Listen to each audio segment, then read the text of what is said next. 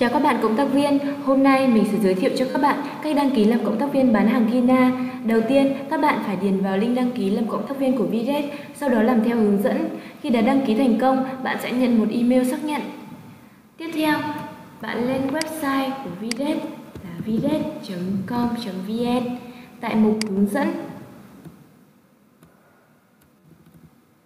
Ở trang thứ hai, các bạn xem hướng dẫn cộng tác viên Kina và nhấp vào mục tất cả các tài liệu hướng dẫn và mã nhân viên đăng ký làm việc tại đây. Đây là form đăng ký làm việc của Kina, các bạn điền đầy đủ các thông tin yêu cầu. Sau khi đã điền đầy đủ thông tin, các bạn nhấn gửi. Và các bạn sẽ nhận được mã code ở email, các bạn kiểm tra hộp thư thì Videt đã gửi mail kèm mã code cho các bạn. Các bạn nhấn vào mail. Thì đây, mã nhân viên 434262 này là mã nhân viên mình mới nhận được thì các bạn copy cái mã nhân viên này. Bước tiếp theo, các bạn truy cập vào website kina.vn. Sau đó, ghép mã code vào link bằng cách nhấn thêm sệt paste mã code của mình vào.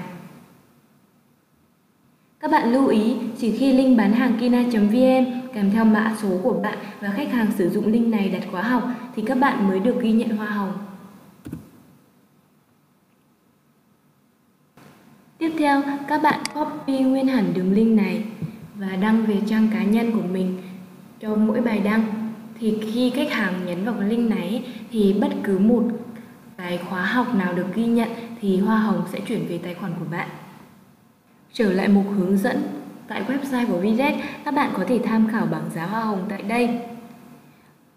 Cần thêm một thông tin là tham gia nhóm cộng tác viên bán khóa học cho Kina để mua bán khóa học cho các đối tác giáo dục. Các bạn tham gia group sau để được hướng dẫn tận tình.